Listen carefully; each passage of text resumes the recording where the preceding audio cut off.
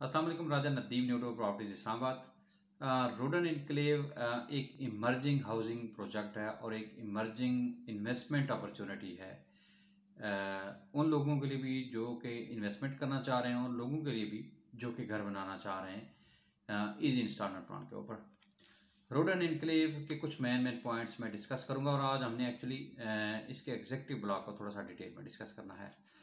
रोडन enclave वो wide society है, जो कि दो बड़े मेन प्रोजेक्ट्स की बेनिफिशरी है। नंबर वन रिंग रोड और जो कि बिल्कुल ज़ीरो किलोमीटर डिस्टेंस के ऊपर है। रिंग रोड सोसाइटी के बीच में से गुजरेगा और दोनों साइड पे सोसाइटी है। रिंग रोड के एक साइड पे तकरीबन थर्टी परसेंट एरिया आएगा और एक साइड पे सेवेंटी परसेंट और दोनों साइड पे सोसाइटी है। रिंग रोड और दूसरा जो बड़ा मेन प्रोजेक्ट है, वो है इंटरनेशनल क्रिकेट स्टेडियम जो कि गवर्नमेंट ऑफ़ पाकिस्तान बना रही है, जो चौंतरा के करीब। तो ये दो बड़े मेन प्रोजेक्ट्स हैं जिनका रोड एंड एनक्लेव को बेनिफिट है। उसके बाद दो मैन एंट्रेंस अडयाला रोड के ऊपर एक इसका गेट आएगा ऑलरेडी है, और एक इसका चक्री रोड के ऊपर। बल्कि अडयाला रोड के ऊपर इसकी दो मैन एंट्रेंस है, एक एग्जेक्टिव ब्लॉक की एक अलहदा भी एंट्रेंस है। दोनों एंट्रेंस अवेलेबल हैं, दोनों ऑपरेशनल है। चक्री रोड के ऊपर भी इसके एंट्रेंस बन रही है। दो मैन एंटरचेंज के दरमियान है एक इंटरचेंज जो है रोड जो रिंग रोड का बनेगा, वो बिल्कुल ज़ीरो किलोमीटर डिस्टेंस के ऊपर है। इसके बिल्कुल मेन गेट के सामने इंटरचेंज आएगा। और दूसरा इंटरचेंज जो बैक पे चक्री रोड के ऊपर बन रहा है, वो इससे हार्डली कोई हाफ़ या एक किलोमीटर दूर होगा, जो मैरा के मुकाम पे बनेगा। तो इसका जो बैक वाली जो चक्री रोड पे एंट्रेंस है, वो मैरा के मुकाम पे भी है। दो बड़े रेजरवायर पानी के खसाला डैम और जावा डैम सोसाइटी के पास है। खसाला डैम के ऊपर इसकी, मैं खसाला डैम सोसाइटी ने नबे साल के लिए लीज पे लिया हुआ है। और बाकी जितनी भी एंटरटेनमेंट स्काई वॉक्स और फार्म हाउसेज और जितनी भी एंटरटेनमेंट है, वो खसाला डैम के ऊपर है। जावा डैम की भी सोसाइटी के पास है। जावा डैम के ऊपर इसके दो कनाल के फार्म हाउसेज हैं। बेसिक फैसिलिटीज़ की बात करें तो रोडन इनक्लेव तक मेन रोड के ऊपर जितनी भी आबादी है रोडन इनक्लेव तक पानी बिजली, गैस जो बेसिक फैसिलिटीज़ ऑफ़ लाइफ हैं, वहाँ तक अवेलेबल है। और सबसे जो बड़ा प्लस पॉइंट है, वो है four year instalment plan easy instalment plan rate के हिसाब से भी सबसे रीज़नेबल और with four year instalment plan तो ये सबसे एक प्लस पॉइंट है रोडन इनक्लेव के पास। रोडन इनक्लेव के पास ये तकरीबन कोई बत्तीस हज़ार कनाल का प्रोजेक्ट है, जो कंप्लीट होगा। इनिशियली इस टाइम सोसाइटी के पास पच्चीस हज़ार कनाल जगह मौजूद है, जो सोसाइटी के पास सोसाइटी के कब्ज़े में है और सोसाइटी के नाम पे अवेलेबल है। अच्छा रूरल इनक्लेव का जो एग्जेक्टिव ब्लॉक है, वो वाकई ही एग्जेक्टिव ब्लॉक नेस्पाक ने डिज़ाइन किया है। अच्छा नेस्पाक ने इसको एज अ मॉडल ब्लॉक जो है वो बनाया है।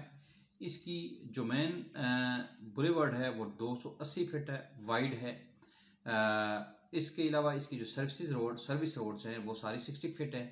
और उन्होंने अप्रोचेबिलिटी इतनी ज़बरदस्त बनाई है कि हर स्ट्रीट जो है वो आपकी सर्विस रोड को भी, या सर्विस रोड को टच कर रही है। मतलब कि हर स्ट्रीट्स को बड़ा रोड मिलेगा अप्रोच के लिए, और या उनको मेन बुलेवार्ड टच करेगा।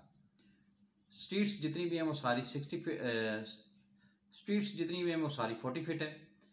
रोड एंड इनक्लेव का जो एग्जेक्टिव ब्लॉक है, इसका जो टोटल एरिया होगा, उसमें से जो 65 परसेंट एरिया होगा, वो ग्रीन एरिया और प्लस अम्यूनिटीज़ मतलब उसमें 40 परसेंट ग्रीन एरिया होगा और 35 25 परसेंट अम्यूनिटीज़ होंगी। और जो बाकी 35 एरिया है 35 परसेंट उसमें एक्चुअली रेजिडेंशियल है। मतलब आप ये समझें कि रूडन एनक्लेव के 35 परसेंट जो है वो रेजिडेंशियल एरिया होगा ब्लॉक का और बाकी सारा जो है 65 परसेंट वो अम्यूनिटीज़ प्लस ग्रीन एरिया होगा। रूडन एनक्लेव की साइट के और ये सबसे पहला ब्लॉक है रोडन इनक्लेव में आ, ये ब्लॉक सबसे पहले डिलीवर होगा सबसे पहले इसको पोजीशन मिलेगी। ऑन द साइट बड़ी तेज़ी से इस पे काम वर्कआउट जारी है। मस्जिद का अफ्ताह साइट पे हो चुका है ऑलरेडी इसके अलावा इसका मेन बुलेवार्ड का जो है वो बनना शुरू हो गया है। आप साइट पे जाके इसको साइट विज़िट कर सकते हैं। उस पर सीवरेज का काम शुरू हो चुका है। वहाँ पे पार्क का काम शुरू हो चुका है। बाउंड्री वाल जो एग्जेक्टिव ब्लॉक का जो एरिया है, उसको जितना भी एरिया है, उसके साथ साथ बाउंड्री वाल का काम शुरू हो चुका है। तो इसमें जो मेन प्रोडक्ट्स हैं, वो नंबर वन सात माला की कटिंग भी है, इसमें दस माला की कटिंग भी है कनाल की कटिंग भी है, और दो कनाल की कटिंग जो है, दो कनाल के मिनी फार्म हाउसेज जो हैं, वो जावा डैम के ऊपर है डैम फेसिंग प्लॉट्स हैं सारे। तो ये एक बड़ी ज़बरदस्त एक इन्वेस्टमेंट अपॉर्चुनिटी है, और प्लस कम्युनिटी बनेगी, इंशाल्लाह।